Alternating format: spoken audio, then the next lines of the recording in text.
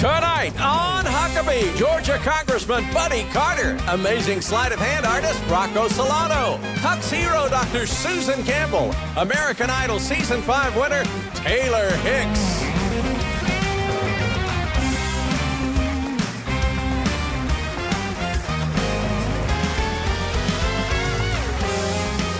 That's Trey Corley at the Music City Connection. And I'm your announcer, Keith Bilbrey. And here's Mike Huckabee!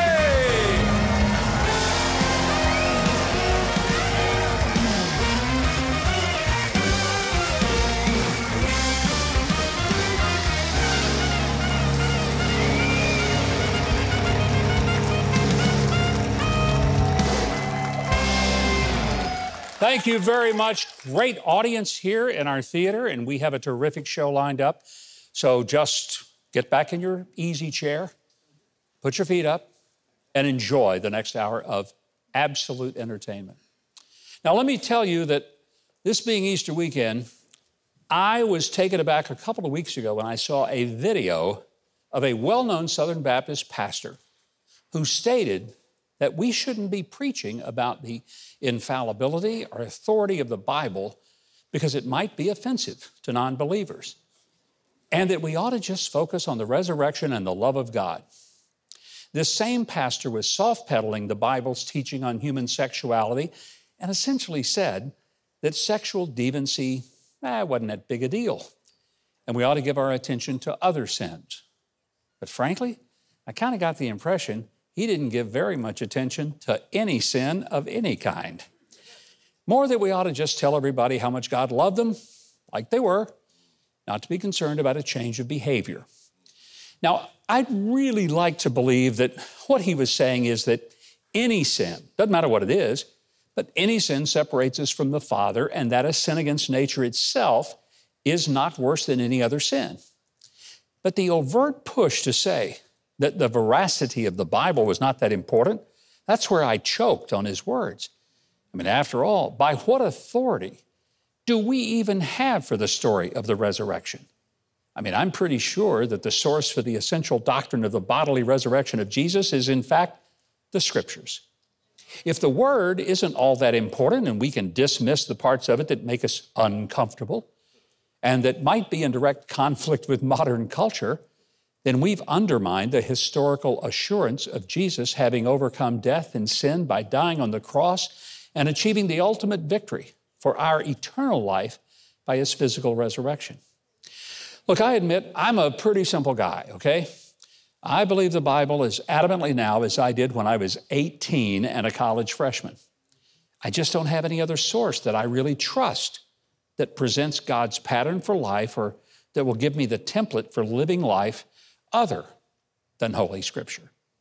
So when I hear someone smugly telling me not to get wrapped up by what the Bible says and just go with my feelings of love for everyone, I kind of put my engine in reverse and look for a different spiritual road to travel.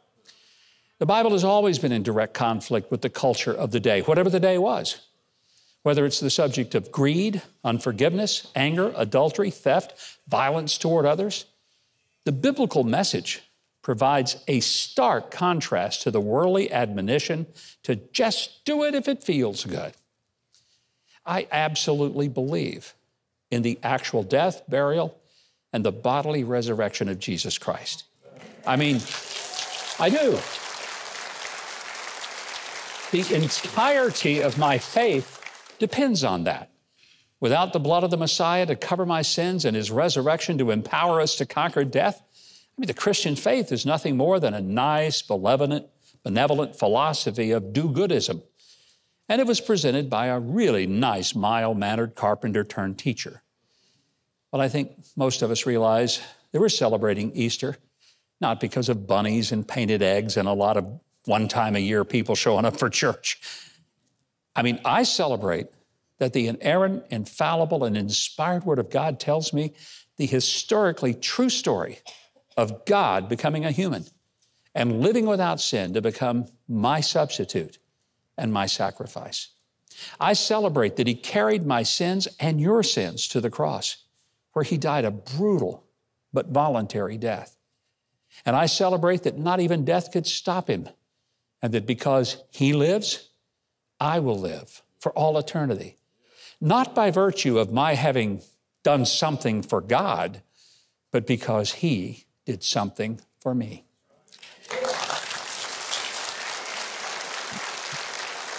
I've got no problems with some of the traditions surrounding Easter, whether it's the hiding of some eggs or chocolate bunny rabbits.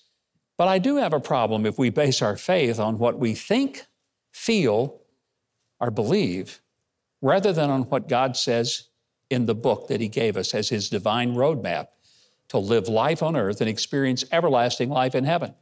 And that's why I will absolutely celebrate Easter as I gratefully acknowledge what God has done for me and never what I might think that I have done for God.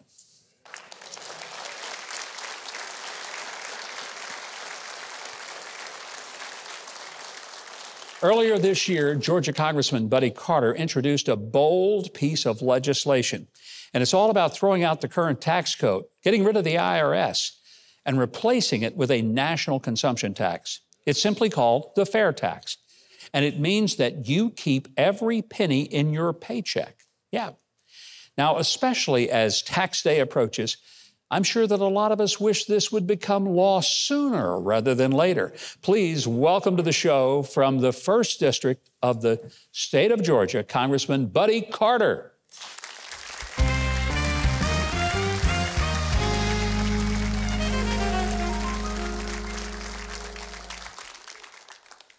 Well, we're going to get into the fair tax and dissect that, but how can we start without acknowledging that this week has been a little bit on the crazy side? A former president indicted by a prosecutor in New York. What does this bode for the country and for civility? Well, first of all, this is a sad day, a sad day for our country, a, a, a, sad day for all of us, and, and certainly a sad day for justice.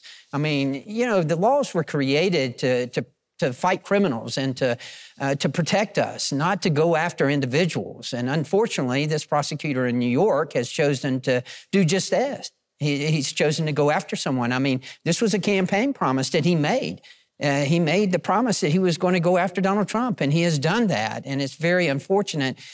And, and certainly the fallout, if you will, has been unfortunate. Um, it was so disappointing for me to hear the former Speaker of the House, Nancy Pelosi, say yeah. that, well, he's got a chance to prove himself innocent. yeah. You know, what is that about? You know what I think? I think that you remember when she ripped the State of the Union I was in half? there. I remember it well. I think she also ripped the Constitution in half and forgot what that said because she sure missed that part of it, didn't she? She certainly did. And, and again, uh, someone who has held that office, and which I have a deep respect for, being a member of sure. the House of Representatives, um, just very, very disappointing all of it is disappointing. It, it, it's just as if this administration has weaponized the Department of Justice and the FBI, and just a very, very sad time in our country's history. One of the big questions should Republicans say, okay, if this is the new playbook, if this is how we're going to operate, then we're going to start impeaching officials and, and pushing for indictments. Is that where this is headed? I do think you will see um, investigations into exactly what has happened here, and, and certainly you should. That's yeah. the responsibility of Congress. Congressman, one of the reasons that I'm very happy to have you here is because you have uh, sponsored the fair tax bill in Congress. Most people, they just hear fair tax. I remember the first time I heard it back in 2007. And people would say, Are you for the fair tax? I said, Well, of course I'm for a tax to be fair. And they said, No, no, no, the fair tax. I didn't know what they were talking about. Somebody handed me the book written by Neal Boortz and John Linder, former Georgia congressman. I read it, and it absolutely changed my outlook on how we could supercharge this country's economy. When did you first hear about the fair tax, and when did it sort of come to you? I got to sponsor this bill. I think I probably heard about it um, probably in before you did in yeah. 2007. I'm, I think I heard about it before maybe in the early 2000s, uh, right after it came out. John Linder, of course, was a member of Congress. After he left, his chief of staff, Rob Woodall, um, who actually wrote most of the bill, um, he took it over. And Yeah. then when Rob left Congress four years ago, he asked me if I would take it over. And of course, I was delighted to. When I ran for Congress eight years ago, I made it my pledge that it would be the first bill I would co sponsor, and it was. And I have um, continued to sponsor it. And thank goodness it, it's found a, a second wind, if you will. You know, it's, it's a bill that I think if people fully understood it, they would realize it's not a Democrat versus Republican bill at all. In fact, I've often said, I don't know why the Democrats haven't latched onto it, taken it, and championed it, because it is a very powerful bill for people who are in the struggling part of our economy. It's really better for them than it is for the people at the top of the economy. Absolutely, it's better for those who are making thirty-five to fifty thousand dollars a year. This is going to save them on taxes, Yeah. and that's what a lot of people don't understand. It, it- you know, it's fair, it's simple, it's preferred. Let's face it, no one likes to pay taxes. Yeah. But given the choice between an income tax, uh, a payroll tax, and a consumption tax, they would prefer a consumption tax Right. because you're in control then. Right now, and that's why the establishment doesn't like it because they lose control. That's right? it. That's right it. now they're telling you what you're going to pay, and but if and if you have a consumption tax like we have here in Tennessee, like you have in Texas, like you Mm-hmm. have in Florida, no income taxes, you have only consumption taxes, and they're doing fine, by the way, some of the strongest economies around. Then you're in control. When we come back, we're going to talk about how this works and how practical it is and how simple. But before we go, I think maybe I could tell our audience something they will like that we can get into. The best thing about the fair tax, it eliminates the IRS once and for all. How could it get any better than that? well, the congressman's going to stick around. We have a whole lot more to talk about on the fair tax and much more when we come back. Stay with us.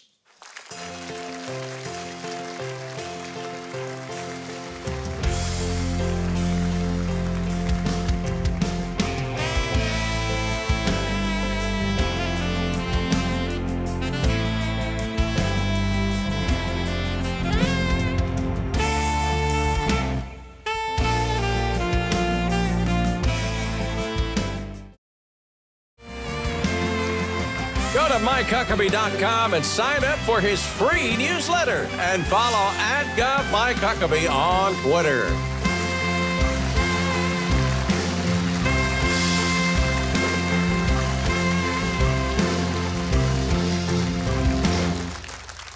And welcome back. We are visiting with Congressman Buddy Carter of Georgia. We're talking about the fair tax. Uh, what, what I think really made me just sit up and say, wow, this would be transformational, is that no longer would we be penalized, which is what a tax does, for anything we produce. Our work wouldn't be taxed, our savings wouldn't be taxed, our death wouldn't be taxed. Capital gains on something where we made a decent investment wouldn't be. I mean, it's kind of like life is supposed to work. You don't punish people for doing what's right and what's good, but our tax system does. It absolutely does. It's one of the most regressive tax codes out there, and and that's what makes it so good. Is that uh, here we have an opportunity to with a big idea. You just mentioned a big idea, and that's what Washington's supposed to be Yeah. about: big ideas. And that's what we're trying to do here. We're trying to to reform the whole system. Keep in mind now, this is going to capture the underground economy too. Those people who are over here, who are not supposed to be Yeah. over here, they're going to be paying the sales tax Yeah. now. They're going to be paying a consumption tax. Tourists, they're going to be doing the same thing. Big corporations, people who are very wealthy, that's one of the big criticisms of, of the left. They say, oh, the rich don't pay their fair share. Well, they're going to be paying Sure. exactly what they're consuming now. And they consume a lot more than, than other people do. And most people don't think about the fact that prostitutes, pimps, gamblers, and uh, drug dealers, they're not filling out a 1040 form every April and saying, I made $400,000 selling meth on the streets. That doesn't work like that. So they're not paying the tax, but they drive nice cars. And when they buy them, they're going to pay the tax. So we won't have to be paying our taxes and theirs anymore. Absolutely. And you know, we did one of the first pieces of legislation that we passed in the Republican controlled House was to eliminate the hiring of 87,000 IRS agents. I know you- Amen. yeah. Amen. I know you find it hard to believe, but those 87,000 IRS agents were not hired to make sure that you get your refund quicker. That's not the reason they were. What? I'm shocked. no. Congressman, shocked. But here we can eliminate the IRS. Yeah. We can do away with it. There will be no need for it. April 15th would be just another beautiful spring day in America without having to worry about taxes. What I think is uh, also very powerful about it is that, you know, if you buy used things, you wouldn't pay tax on it because it's already been taxed. That's right. So you said something a moment ago that really I think people need to take to heart you control how much tax you pay. You want to buy a lot of stuff, you'll pay taxes on it. You, you, are you a cheapskate? Don't want to buy stuff? You won't pay taxes. Been talking it. to my wife, haven't no, she told me that was you. I mean, seriously, I, I, don't think people recognize that uh, so much of the tax we pay, we don't even know we paid it. it. That is a great point. It's embedded. Have you ever looked at your paycheck? Have you ever looked at your paycheck to see how much you're making and how much you're actually taking home? Hmm. I mean, it's unbelievable. It's unbelievable how much the government is taking out of your paycheck. That's why people in the thirty-five to fifty thousand dollar range, they are the ones who are going to benefit the most from this. They get their whole paycheck. You Absolutely. Know, how hard will it be to get the fair tax through Congress? Because there are people who say, "Oh, that fair tax, it just means you're going to raise taxes." Untrue. Right now, when you look at your, your, taxes, what's embedded in the price of something is more like 25%. The fair tax will be set at 23%. Now, that is a lot. I get it and I understand that, but it is less than what you're paying now. And again, you will have control. Yeah. You will have control as opposed to Washington, D.C. saying, oh, if you buy this, we'll give you uh, a tax credit or a, or tax break. You will have the, that control now. And, and you know, if you listen very carefully, if we pass the fair tax, you can hear water gushing out of the swamp because yeah. that's what it's going to do. the other thing, it will bring foreign investment to our shores, the likes of which we have never seen before, because money flows where it's not punished for being productive. And I think what you mentioned a moment ago, people don't think about, well, you buy a loaf of bread, you're not just paying for the bread, but the company that made it, the farmers who grew the wheat, all of them had to pay tax and they carry that tax into the cost of the product. So if you take the tax out of it, everything gets less expensive. So the fair tax means you actually know what you're paying. Right now, you have no idea how many taxes that are built into every single thing we have. And what it does is it rewards hard work. It, it, rewards innovation. It rewards success. And that's what we should be doing. We should be rewarding instead of penalizing. And this, the current tax code penalizes. Well, I want you to know by sponsoring the fair tax, you become one of my very endeared heroes in Congress. And I want you to be successful. I will do everything I can to help be an advocate for the fair tax because I truly believe it would be just unbelievable for the economy. Great. Please come back. We'll talk about it some more. We Thank will. you for your service to the people of Georgia and America. Great to have you here. Good to be here. And remember, he is alive. Yes, he is. Thank you. Thank you, Congressman. Thank you. Well, as we always say, Huckabee.tv, that's the place you can get connected to all of our guests on social media. We've got links that you can follow the congressman and sign up for his newsletter if you want to keep up with him. For more information on the fair tax, you can also go to fairtax.org. Right now, we're going to go over to Keith Bilbrey so he can tell our audience what we have coming up on the rest of the show. Well, up next, the humorous news on in case you missed it. And later, American Idol winner Taylor Hicks performs. You're watching Huckabee.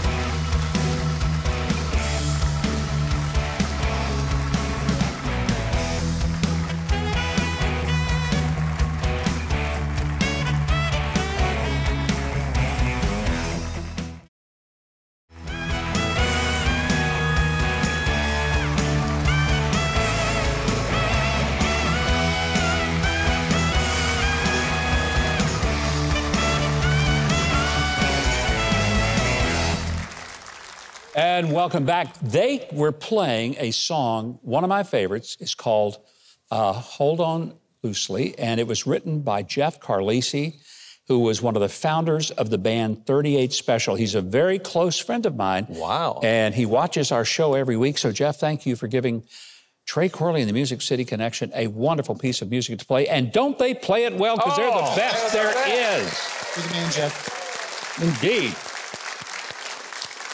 Well, you may have heard about the Steps of Paul Mediterranean Cruise, which I'm going to be leading. It's just around the corner. really is October the 29th through November the 7th aboard a spectacular cruise ship just for our group. Comedian Chonda Pierce will be joining us, along with Larry Gatlin and many more special guests. Now, there's still time to be a part of this relaxing but inspirational journey. So stop thinking about it. Sign up today at thegreatesttrip.com. Well, just in time for Easter, it is a hippity hoppity themed edition of In Case You Missed It.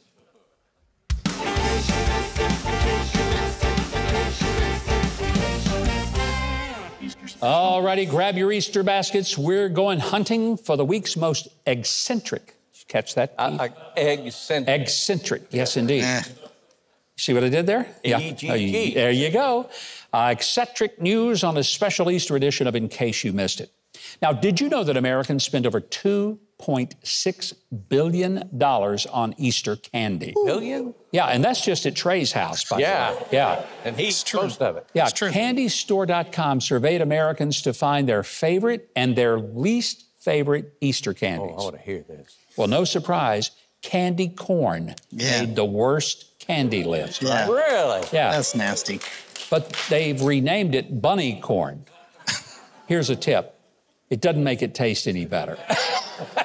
Generic jelly beans also made the worst list, even though they're the only candy that really does look like something that a rabbit would leave behind.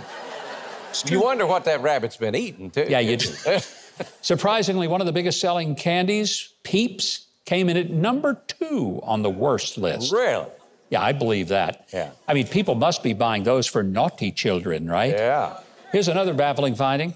The number one least favorite candy was Cadbury cream eggs. Oh, no. No. no, no. This surprised me. Yeah. I mean, I thought everybody loved those, well, right? Sure. But anyway, the favorite candy, get this, is Cadbury mini eggs. Oh, that's for people on a diet. Right? I guess. I mean, but when do Americans prefer less chocolate? I, I never heard of it. That's a sin. Anyway, they say the problem with the big cream eggs is that they fall apart into goo. Well, that makes it even better. I know. Talk about melting in your hand, uh, you know. Yeah. However, on the plus side, under Joe Biden, those eggs cost less than real eggs. So there's, there you go. now, here's what I say is the worst candy, uh-huh. okay? This was spotted on Twitter. Do you know that if you let a chocolate bunny melt, it turns into a chocolate Jack Nicholson from The Shining. it looks like it, doesn't it? I think right? I'll try that. Anyway, a couple more interesting facts, Easter facts here. 81% of parents steal candy from their kids' basket. No. Yes, they do. I'm i would never do that. Yes, you did. Yeah, I know. Yeah, I know. I'm surprised it's not a higher number. I guess people weren't honest when they said they didn't. Anyway, I consider that a very valuable life lesson for kids. Guard it or lose it. Yeah. By the way, Instacart reports that during Easter week, sales of ham leaped by 254 percent. Oh, that's wow. just, that's just the Gov's house. That's what's amazing. yeah, it is. I would take offense, but you know Trey's right about that. I know you love your ham. I know. Absolutely. I do love my ham, ham and bacon. Mm-hmm. I do love it. By, by the way, do you know for an unpopular candy, there are a lot of flavors of Peeps, including pumpkin spice Peeps, Dr. Pepper's Peeps, hot tamale Peeps. Hot and, tam- Yeah, hot tamale Peeps. Why? Who wants that? And pancake and syrup Peeps. I mean, I prefer to just pour syrup directly onto my Peeps. There you go. they also have something called mystery flavor Peeps. Think of it, mystery flavor. I don't trust that. Hey, here's a tip. Never eat anything that bills itself as a mystery flavor, okay? Just they made a bad batch and they're trying to sell it. That's something like that. Anyway, for those who just can't get enough Peeps, you can now start every day with a big bowl of Peeps breakfast cereal. That's disgusting. Finally. It's like, yeah, it's like eating your basket of Easter candy for breakfast. And Keith, I know you already did that. I did. Right? Yes, I did. Anyway, it's time for one of my favorite Easter traditions awkward Easter bunny photos. CBS News compiles some of the best. Here's the first one.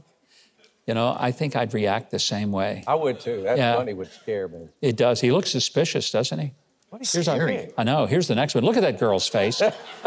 she is so trying to pretend that everything is okay. Honey, we know it isn't. Is he eating? This next one. All right, go ahead and laugh, big brother. Uh-huh.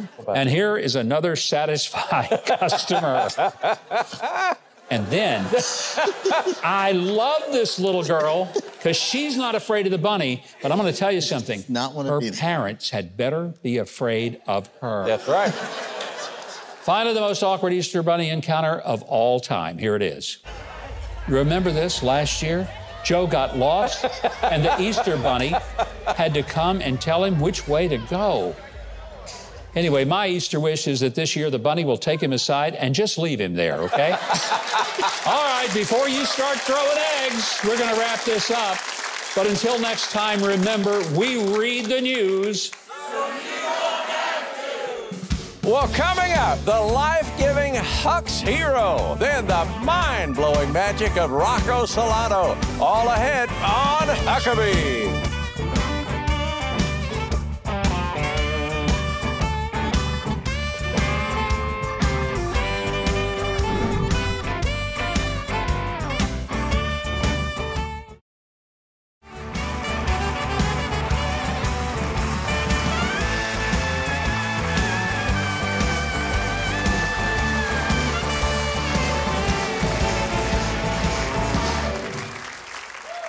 Welcome back. My next guest has spent her career in the field of neonatology after seeing a need for safe, pasteurized human milk for high risk babies.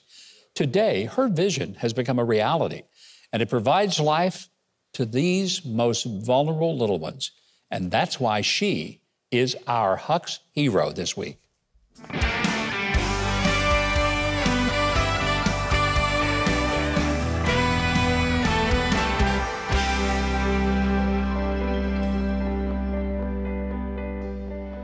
Dr. Susan Campbell, and I have practiced neonatology in Middle Tennessee for over 30 years. So, my motivation in starting Mother's Milk Bank of Tennessee is I saw very tiny infants born very prematurely who did not make it in the NICU or had serious abdominal consequences of their stay in the NICU. There are just so very many benefits when the mother can't provide her own milk to being able to have donor milk available that's been safely pasteurized and tested to make certain that no bad bacteria would be transmitted to the babies. I was so concerned about being able to save babies' lives that even before my retirement in 2019, we had started working on having a facility for the state of Tennessee. In 2021, we finally were able to open this facility that you see, which is a state of the art pasteurization facility for donor human milk. This has been almost a half a lifetime dream for me to be able to have this kind of facility available for our state. This is my give back to the community where I served as a neonatologist for so many years and I would love, love, love to see necrotizing enterocolitis become a never event. I can't tell you what this means to me to be able to finally, after so many years working on this project, to be able to provide safe, pasteurized donor human milk to our hospitals in Tennessee to take care of their most vulnerable tiny babies who desperately need it. Oh, how beautiful. Well, please welcome the executive director and co founder of Mother's Milk Bank of Tennessee, Dr. Susan Campbell. Dr. Campbell, thank you for being here tonight. Oh, it's my pleasure. We're so glad to have you as our Huck's hero. I am fascinated that you, you spent most of your life as a physician in neonatal care and you saw things that kids were experiencing because they didn't have natural mother's milk. And so they were being given a chemical of, of formula. Mm-hmm. And you saw how much of a difference that could make for them. Correct. You know, we saw so many technological advances. Uh, it was amazing to see that we were able to find a way to treat their lungs. We were fi- able to find a way to ventilate babies. Tiny babies could survive that hadn't been able to survive before. But the most devastating thing would be when they were a couple of weeks old and they were starting to be fed to see their little bellies get distended and they'd have issues with feedings. We'd have to stop feedings. And there was a period of time where neonatologists were so, and I think this still occurs, they're so concerned about the entity called necrotizing enterocolitis that we would stop feedings, sometimes for a week or 10 wow. days, and we would have them on really strong antibiotics. We would do blood cultures, and it just was devastating. So, what happens when these same babies are given natural mother's milk?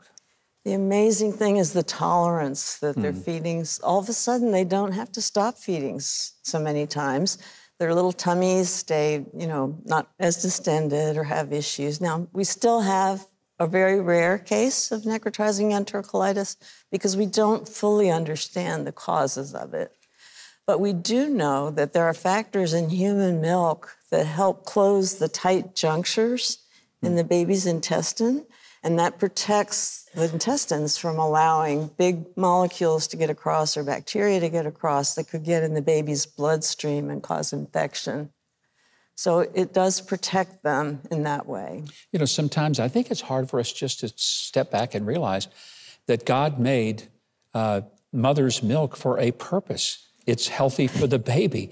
But there are obviously some women who maybe can't lactate, so they can't feed their own babies.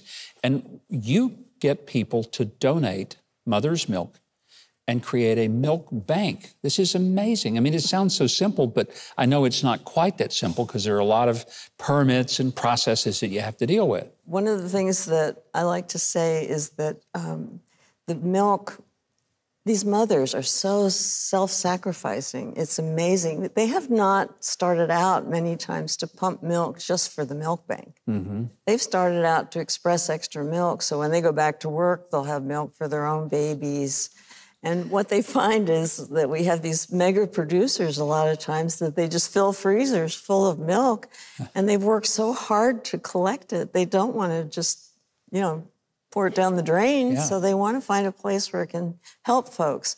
Um, my husband likes to say that um, most people know that human milk is important for their own baby, but they don't recognize it can actually save these tiny babies' lives in the NICU. Well, you're obviously saving the lives of babies that otherwise would have been sick. And I hope that people will make contact with you because this is something that could happen in all 50 states. Somebody could take your model and they don't have to reinvent the wheel because you've already done it. Well, I'd like to say it was my model, but we actually are a member milk bank with the Human Milk Banking Association of North America. And there are 31 milk banks mm. right now in the United States and Canada. But if you compare that with a country like Brazil that has over 200 milk banks, wow. I wish there were a milk bank in every state in, in the country because we could, I think we can use all that milk to help so many babies. You know, I hope that uh, your being with us will maybe inspire a whole lot of people across the country and we can beat Brazil and do it even better. Thanks for a lifetime of service, not just this recent project, but your whole service, well, saving the lives of babies. Thank and we're you, Governor, to have you. And I have a gift for you. Oh, thank you. Thing. One wow. of our T-shirts. How about that? It says "Love in every drop." Love in every drop. Love it. Well, if you would like to donate milk, or if you'd like to donate funds or your time as a volunteer to help Mother's Milk Bank of Tennessee. If you go to Huckabee.tv, we will connect you. Right now, Keith is going to milk the rest of this show for all it's worth by telling us what we have coming up next. Well, don't close your eyes. Award winning magician Rocco Silano is next. And later, the very talented Taylor Hicks performs.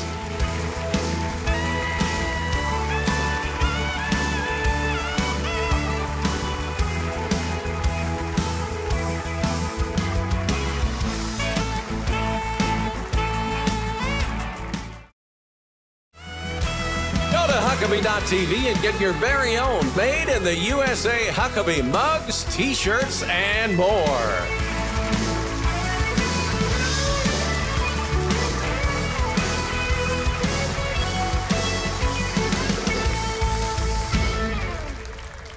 This next segment I'm pretty excited about because we've got with us Rocco Silano, one of the world's most innovative magicians. He is the recipient of two Merlin Awards, the Gold Lion Award and nine nominations as Magician of the Year by the Academy of Magical Arts. He's performed for celebrities from Michael Jackson to the Queen of England. And tonight, he's performing for us. Would you please welcome the amazing Rocco Silano?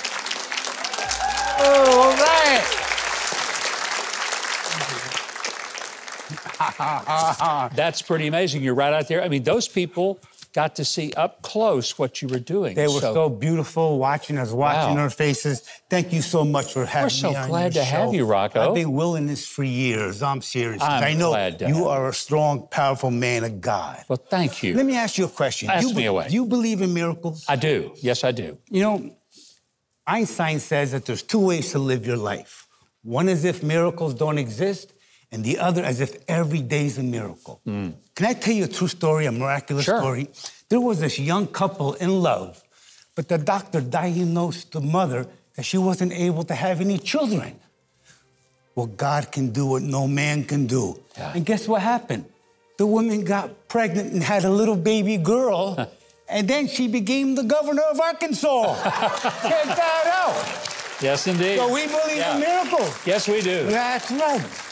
Yes. You know, it says in Isaiah 1 5, before I was there before I even formed you in your mother's womb. God was already there. Yeah. That's how it is, man. So it you're is. a recipient of a miracle.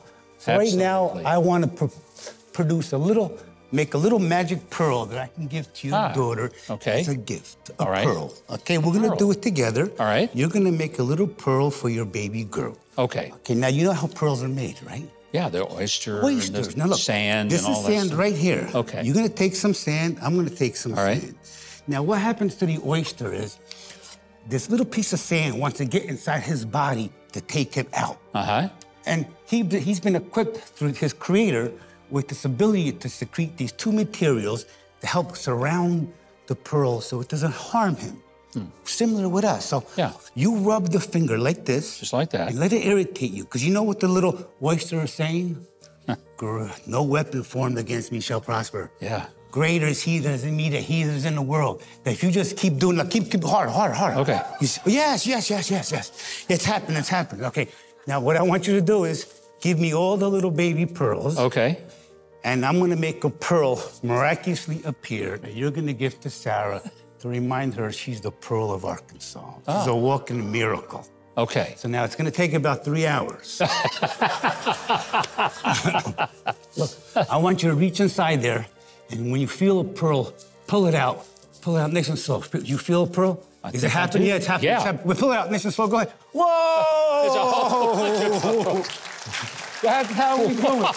That's a whole That's baby pearl. cool. So I want you to take this to Sarah as a gift from Magic Rocco, as a you. reminder she's a walking miracle and the apple doesn't fall far from the tree. God bless you, sir. Thank you. God bless Thank you. everybody here, man.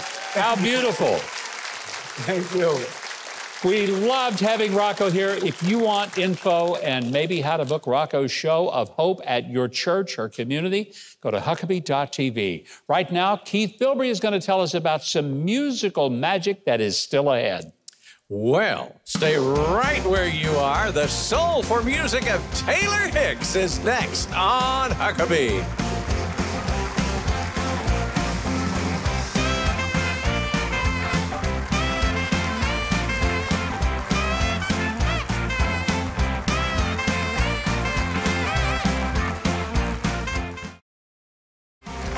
Huckabee next week for Florida Congressman Carlos Gimenez and singer-songwriter Carla Cook.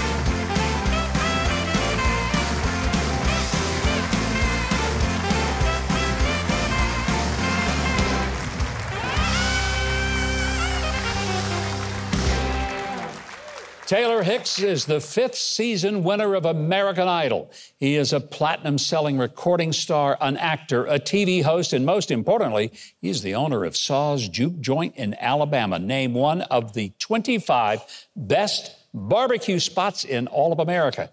He's got a brand new single that you are going to love. It's called Porch Swing. Please welcome Taylor Hicks.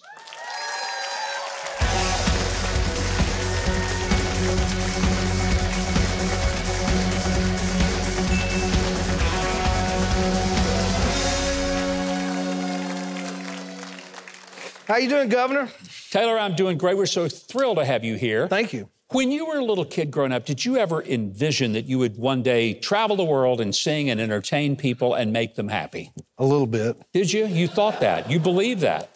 Yeah. Well, I, you know, it, everybody's grandbaby or son or Yeah. daughter could get up and sing and dance. Well, I was one of those grandbabies and one of those sons, and I was always singing.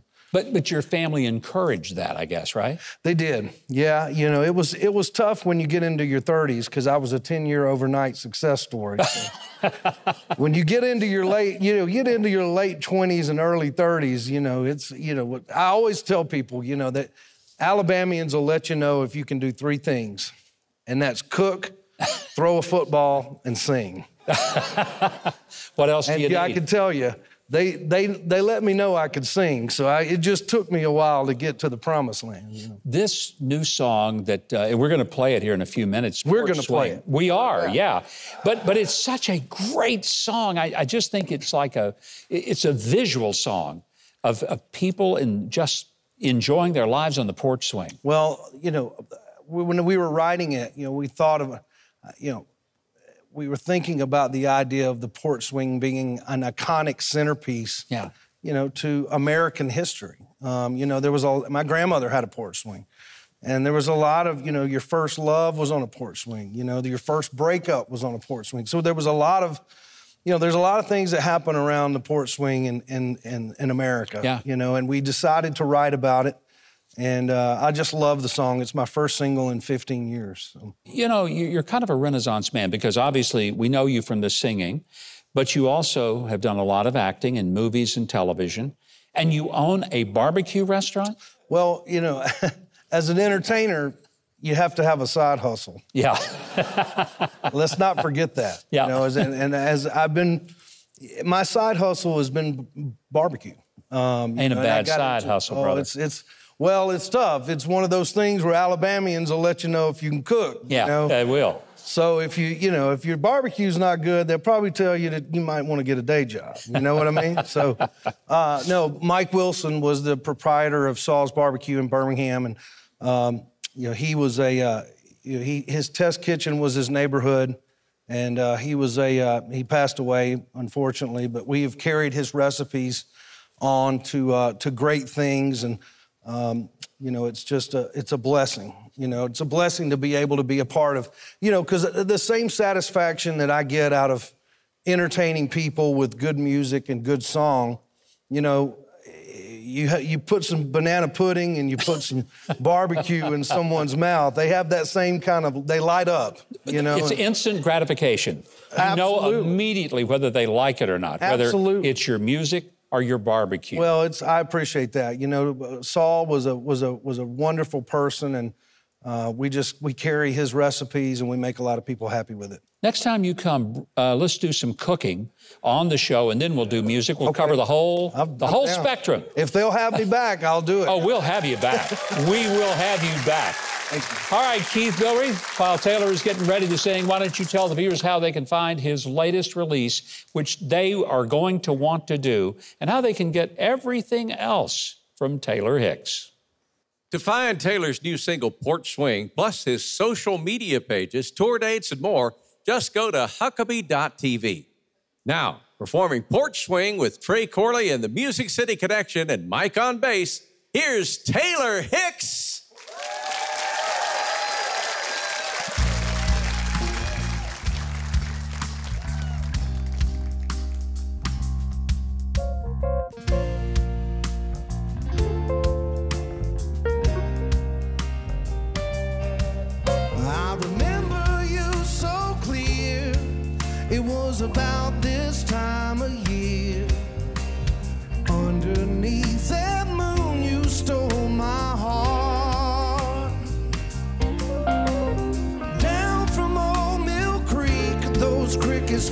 Singing